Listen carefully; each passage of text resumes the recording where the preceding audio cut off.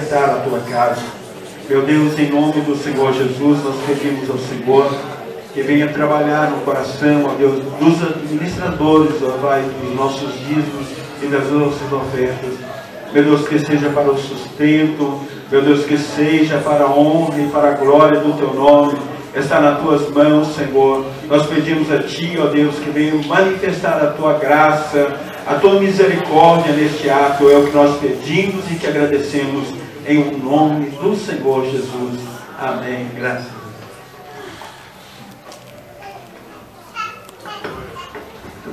Glória a Deus, aleluia, Jesus.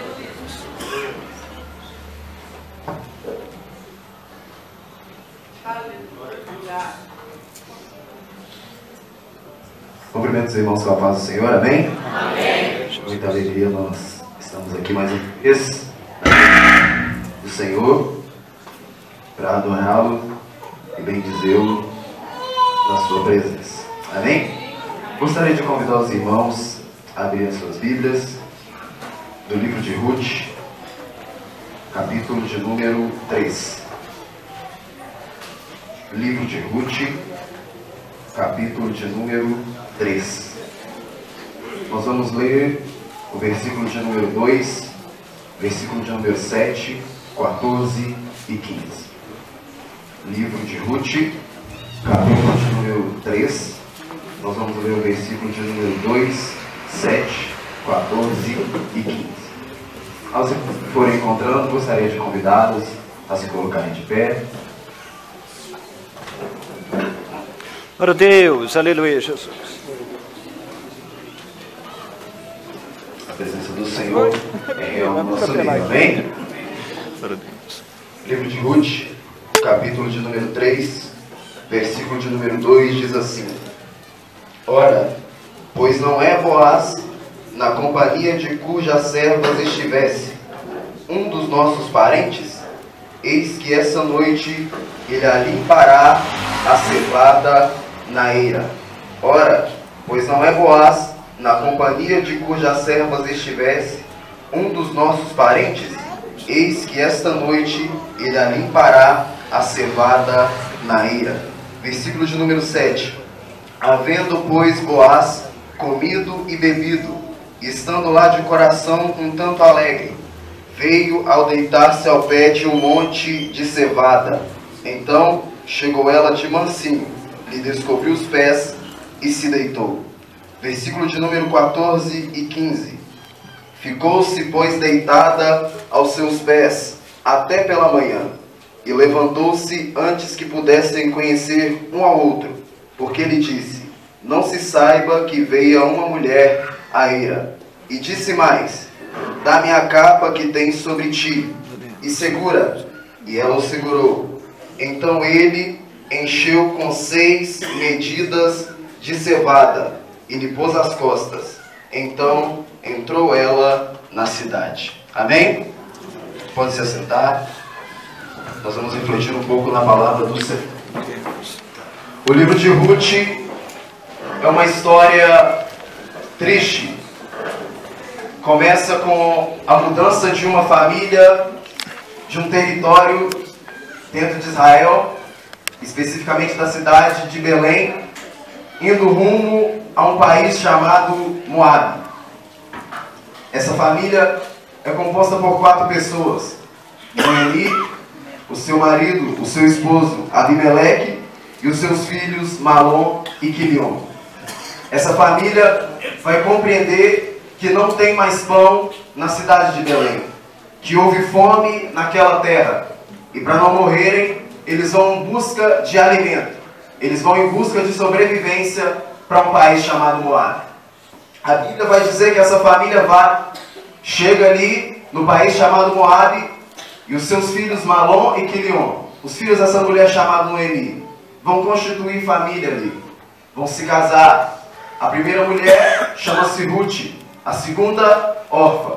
E ali a Bíblia vai dizer que eles vão passar cerca de 10 anos.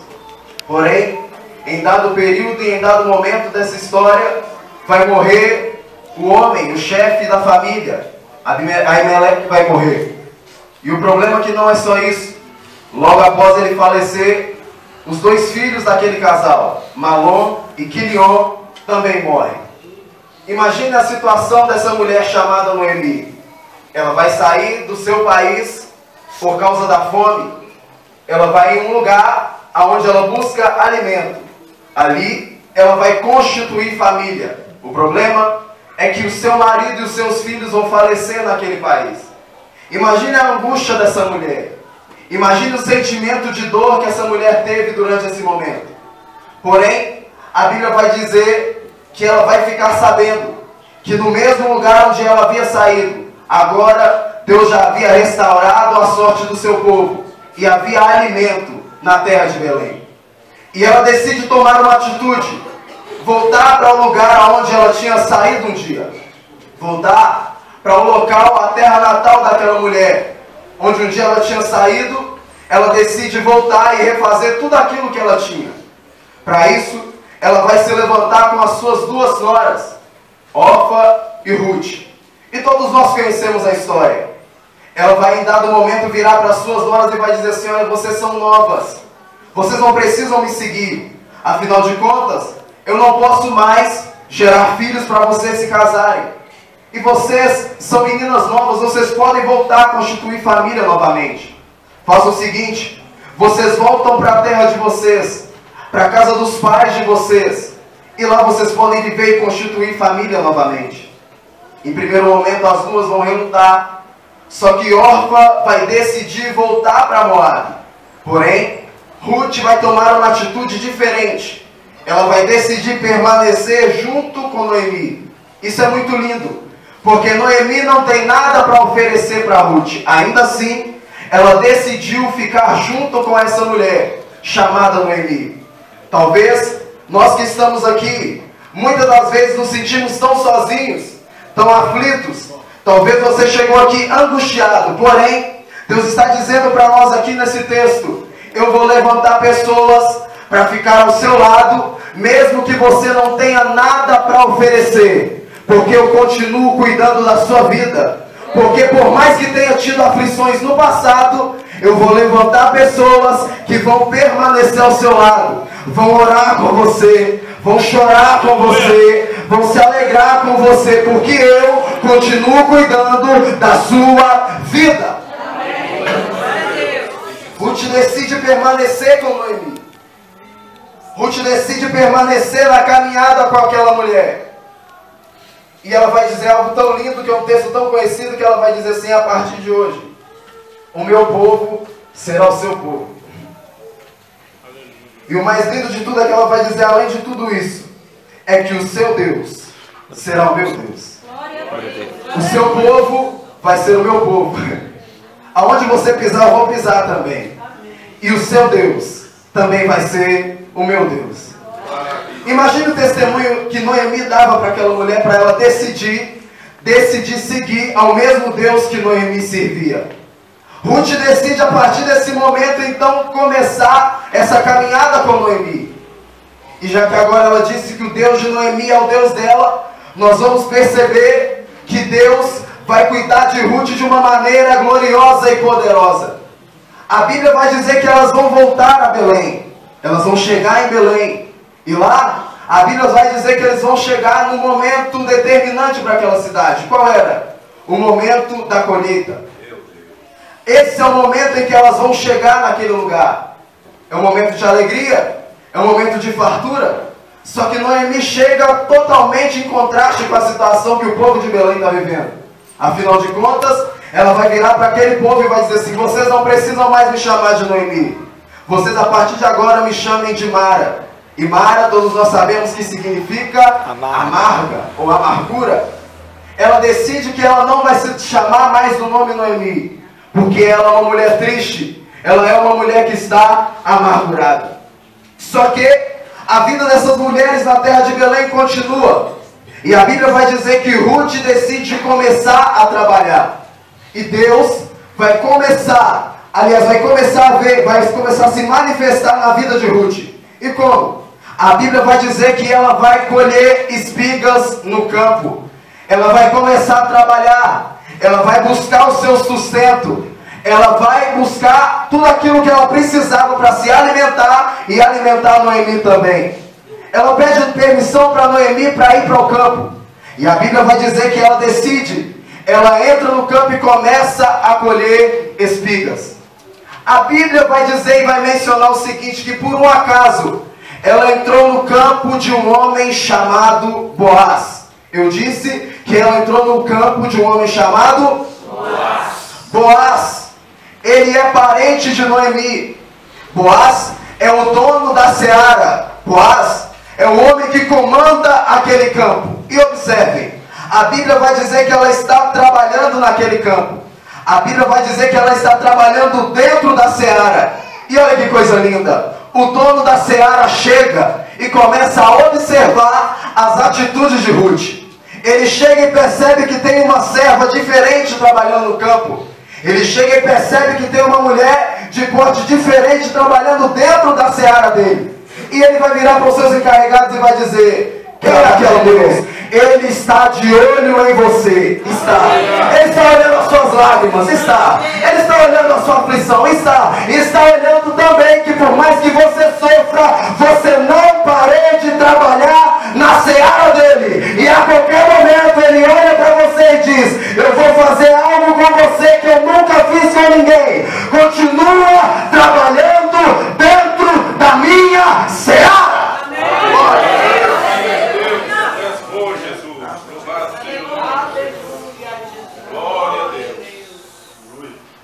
Ruth não sabe, mas o dono da seara está de olho nela. Ruth não percebe, mas o dono da seara está observando as atitudes dela. E a Bíblia vai dizer que ele fala, vira para os seus encarregados e vai dizer assim: olha só. Fala para eles deixarem ela colher as espigas. Fala para os seus servos, os meus servos, deixarem, não atrapalharem ela em nada. Deixa ela trabalhar na minha seara. Deixa ela trabalhar, sabe por quê? Porque quem comanda a seara sou eu. Aí ele olha pra gente e diz assim: por mais que tem gente que talvez não queira que você trabalhe, o dono da seara está dizendo assim: não vou deixar ninguém tocar em você. Dentro da minha seara eu protejo você. Pode trabalhar tranquilo. No meu campo, na minha seara, aonde eu comando, aonde eu sou dono, sou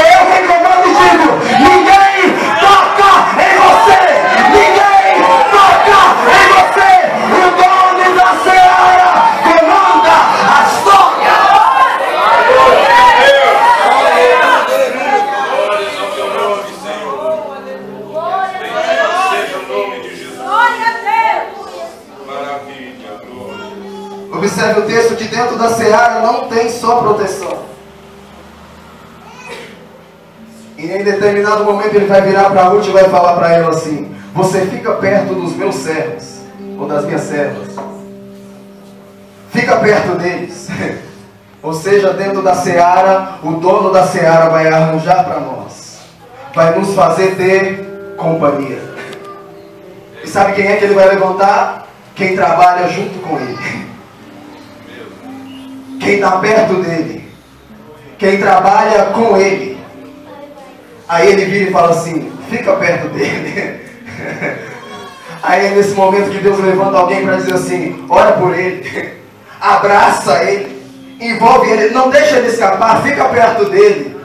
Dentro da seara, além de proteção, ele vira para mim e para você e diz assim: dentro do meu campo tem companhia para você. Dentro do meu campo eu não vou permitir que você fique sozinho.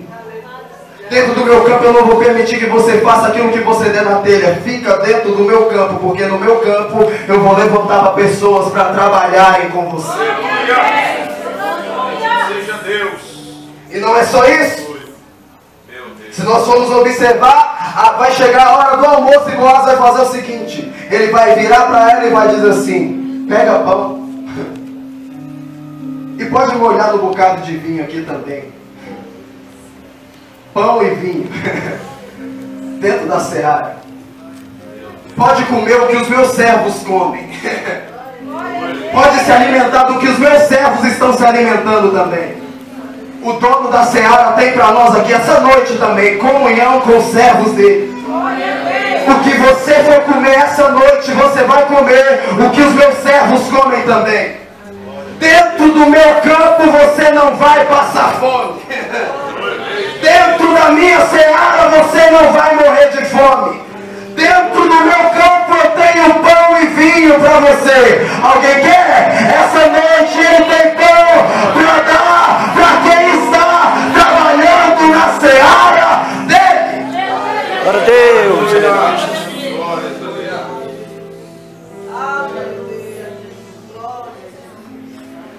E a Bíblia vai dizer que ela ficou trabalhando até o final da colheita.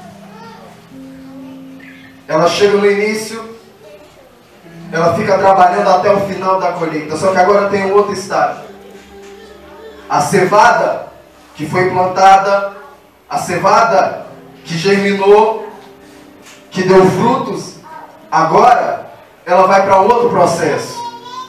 E nesse momento, ela vai ser purificada na ira. É nesse momento em que Noemi vai virar para Ruth e vai dizer: Minha filha, eu não quero que você fique solteira. Eu não quero que você fique sozinha para sempre. E no versículo 2 que nós lemos: Sabe o dono da seara? Sabe o, o, o rapaz que comanda a seara, o campo? Ele é um dos meus parentes e é um dos seus resgatadores. E essa noite, ele vai limpar a cevada na era. Ele vai trabalhar na era. Ele vai limpar a cevada. Ele vai tirar da cevada aquilo que não presta. Por quê? Porque ele é o dono da seara. Ele plantou a cevada. Ele viu a cevada crescer. Ele viu a cevada germinar. Só que agora ele vai arrancar a cevada e vai levar para a eira para purificar. Aleluia, Jesus. Ele plantou a mim, ele plantou a você. A gente germinou. Só que chega determinado momento em que ele vira para a gente e diz assim: agora eu vou limpar você. Eu vou purificar você. Aonde? Vou arrancar você e colocar na minha eira. Esse momento não é nem um pouco fácil. Não é nem um pouco tranquilo de se passar. Sabe por quê? Porque para ser limpa, para ser purificada, a cevada tem que ser esmagada.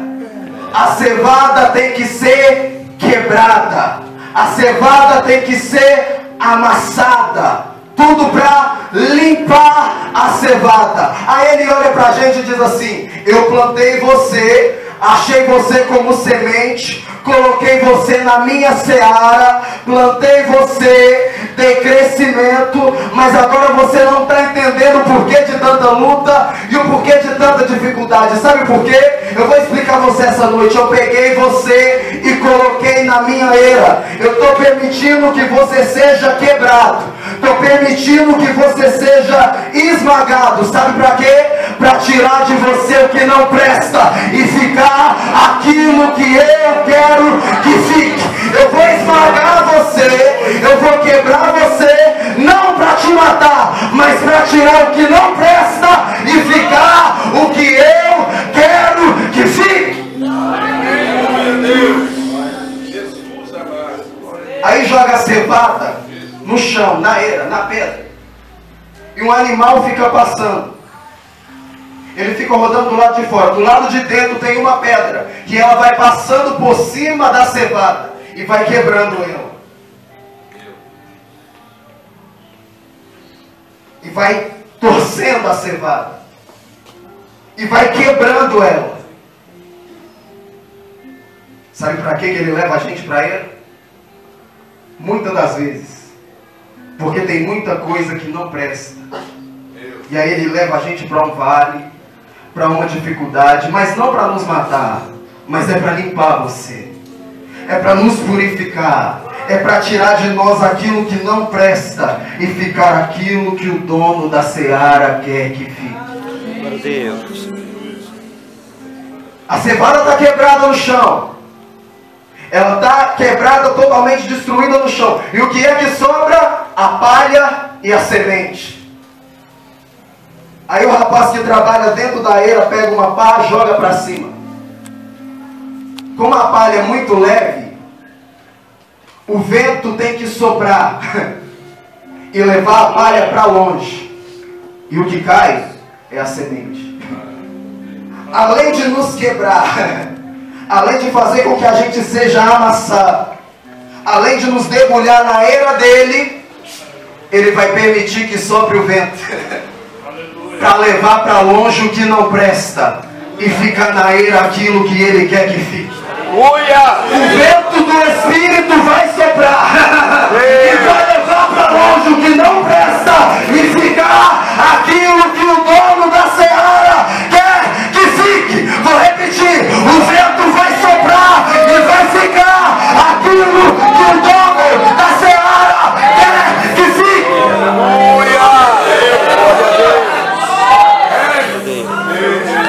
Depois que o vento soprar, você nunca mais será o mesmo.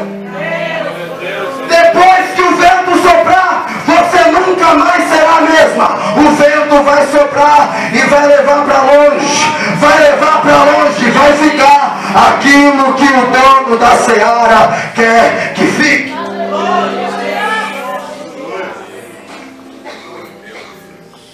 Mas a semente está quebrada. A semente ainda está no processo de dificuldade. A semente está totalmente quebrada. Aí no versículo de número 7, nós vemos o que o dono da seara vai fazer. Observa o texto. O dono da seara come, o dono da seara bebe, e a Bíblia vai dizer que ele vai ficar alegre. Olha o local onde ele vai dormir. A Bíblia vai dizer que ele deita perto de um monte de cevada. Ele deita perto de um monte de. Cevada. Ele não deita longe. Ele deita. Quem dorme, teoricamente, teoricamente, fica em silêncio. Quem dorme, na maioria das vezes, porque a gente teve um caso lá no sítio que não foi bem assim não. na maioria das vezes, não esboça nenhuma reação. Ele fica parado.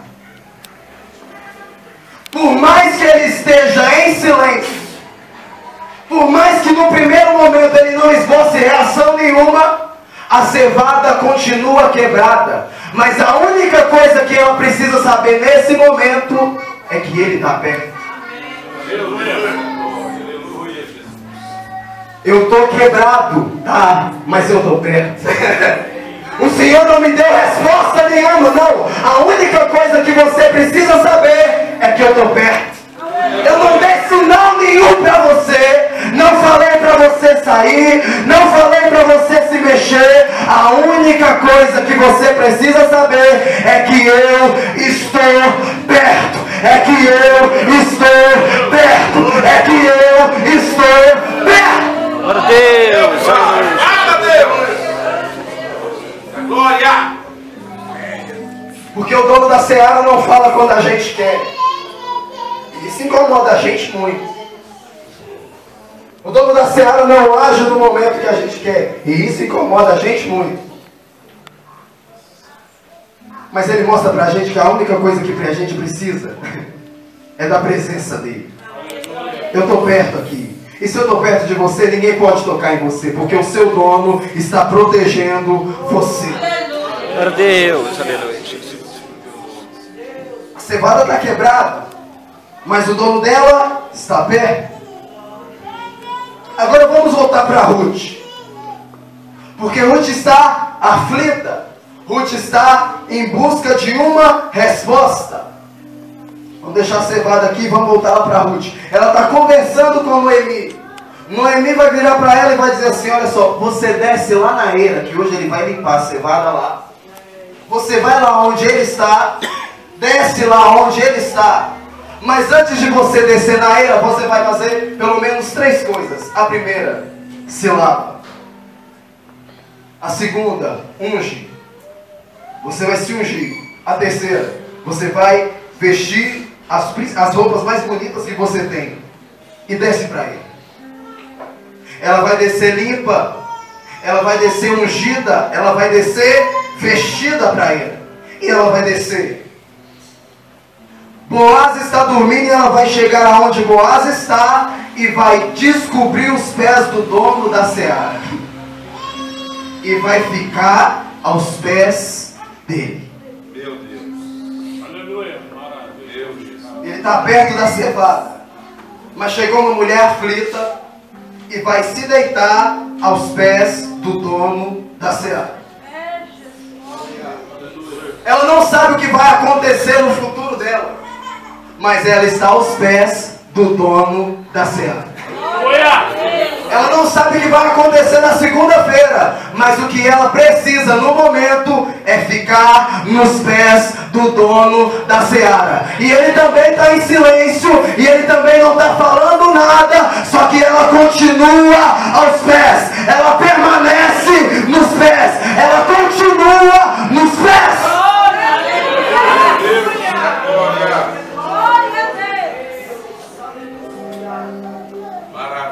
dono da seara desperta e toma um susto. E ele vai virar para Ruth e vai dizer por que é que ela estava ali. E ela vai dizer que ele era o resgatador da vida dela. Ele era o homem que poderia resgatar e casar-se com ela novamente. Ele era o homem que poderia fazer com que ela novamente se tornasse uma mulher casada. Só que ela vai- ele vai virar para ela e vai dizer assim: O problema, Ruth, é que tem um homem, um parente, que é mais chegado do que eu, é um parente mais próximo do que eu, e ele é o resgatador de você, em primeiro momento. Eu não posso fazer muita coisa agora, mas amanhã, amanhã eu vou conversar com ele. E amanhã nós vamos saber se eu vou poder resgatar você ou não. Mas faz o seguinte: você pode ficar aqui, continua aqui nos meus pés, porque amanhã eu vou resolver. Olha só, ele poderia resolver naquele momento, mas ele vira para ela e vai dizer assim: Ruth, eu vou fazer só amanhã, mas enquanto eu não faço, permanece aqui. Glória a Deus. Aí a Bíblia vai dizer assim que ela dormiu nos pés do resgatador. Aleluia. Quem dorme descansa. E talvez você chegou aqui com o seu coração aflito. Mas ele está dizendo, sabe o que é que você precisa nesse momento? Eu vou resolver, eu vou mudar, eu vou fazer do meu jeito. Mas enquanto eu não resolvo, descansa aqui, ó, nos meus pés. Descansa nos meus pés.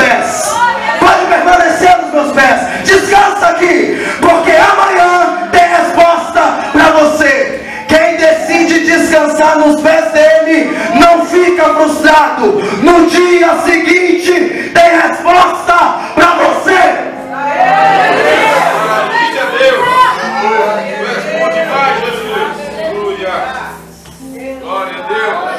Dorme aqui, pode dormir. Descansa aqui nos meus pés. Fica aqui. Porque amanhã eu vou resolver essa situação. Eu não vou resolver no seu momento. Não vou resolver do seu jeito. Mas enquanto eu não resolvo, dorme.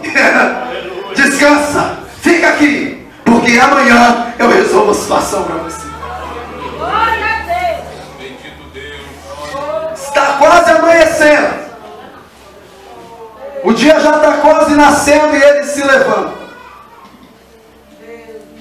Ele vai virar para Ruth e vai dizer assim: É hora de se levantar, porque eu também não quero denegrir a sua imagem. Para que ninguém saiba que veio uma mulher aqui na ilha. Mas antes de você subir, antes de você voltar, pega a sua capa, Ruth. Estende ela. Abre ela, porque eu vou encher. Aleluia. Vou colocar aí dentro seis medidas de cevada, dentro da sua capa. Sabe quanto é seis medidas de cevada? De 20 a 27 quilos. Pesado, né? Mas é isso que Deus faz. Ele levanta a gente mesmo com o coração amargurado. Aí ele pega alguém que está quebrado e fala assim: Eu vou colocar dentro da sua capa para você carregar. Aí ele olha para alguém e vira assim: Por mais que esteja pesado, eu vou encher a sua capa. E por mais que tenha peso, que seja difícil carregar, eu sei o peso que você carrega. Eu sei. Tá pesado? Tá com grande dificuldade? Mas eu que coloquei dentro da sua capa, sei que você consegue suportar esse peso. Eu sei que você aguenta essas seis medidas de cevada. Eu sei. Eu sei que você é forte o suficiente para suportar o peso que está dentro da sua cevada, está dentro da sua capa. Por mais que seja pesado, por mais que você chore, por mais que te aflija, foi eu que coloquei o peso dentro da sua capa. Então pega e carrega, porque eu sei que você vai conseguir chegar no final. Está pesado para Ruth carregar. Mas é as coisas que Deus faz. Porque a cevada está quebrada. Aí ele fala e diz assim: Você está quebrado. Você está machucado. Mas eu vou levantar alguém que vai carregar você e não vai deixar você cair. e é essa pessoa que está, por mais que esteja com dificuldade de carregar, olha e diz assim: tem alguém quebrado, tem alguém machucado aqui, mas eu não vou deixar ele cair. Não vou deixar ela cair. Vou continuar carregando, porque eu sei que o dono da seara colocou a responsabilidade nas minhas mãos. Glória a Deus. Deus, Jesus. Talvez você é cevado, que está quebrado, mas Deus vai levantar alguém para carregar você e não vai deixar você cair. E talvez você é Ruth que chegou com um peso gigantesco nas costas, mas ele diz assim: Eu sei o peso que eu coloquei nas suas costas. Faz o seguinte. A minha graça te basta, porque o meu poder se aperfeiçoa na sua fraqueza. Mas olha como é que Ruth desceu. Ruth desceu limpa. Ruth desceu ungida. Ruth desceu vestida. Ruth decidiu descer na ira e ficar aos pés do resgatador. Permita-me aplicar espiritualmente para as nossas vidas. Tá pesado, tá difícil de carregar, tá machucando. São 20 quilos nas suas costas. Mas sabe por que é que você suporta? Porque você tá limpa. Gente suja não aguenta o peso. Sabe por que é que você aguenta? Porque você está ungido. Gente sem unção não suporta o peso. Sabe por que é que você suporta esse peso? Porque você decidiu ves- de- descer vestida. Gente que se expõe demais não suporta o peso. Sabe por que é que você suporta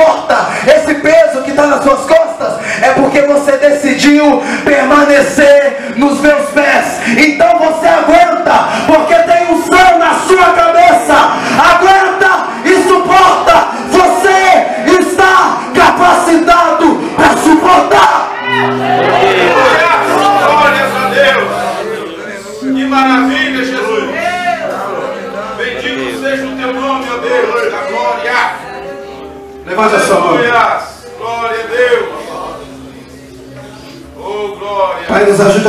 suportar o peso. Porque tem luta que os nossos pais não sabem. Tem luta que os nossos amigos não sabem. Tem luta que muitas pessoas que estão ao nosso redor não sabem, mas nós estamos clamando ao Senhor aqui. Nos ajude a suportar o peso da cevada. Nos ajude a suportar o peso da cevada. E para concluir, entrar dentro da cidade e vai dar a cevada que ela carregou para Noemi. O peso que você suporta agora, a dificuldade que você suporta agora, vai edificar a vida de alguém lá na frente.